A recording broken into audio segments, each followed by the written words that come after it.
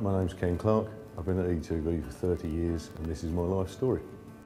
I chose originally to do an apprenticeship as it was a, a good transition from sort of education into work uh, and specifically the E2V apprenticeship allowed me to earn money and further my education at the same time. Doing an apprenticeship lets you see lots of different disciplines. It helps you to be able to choose and understand what you prefer, what you like, and then target what you actually want to do.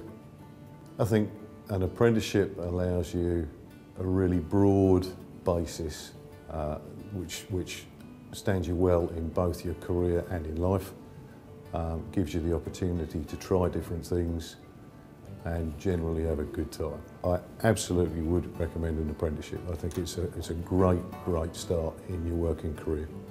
It sets the foundations for whatever you want your career to be. My name is Ken Clarke and I'm proud to be bringing life to technology.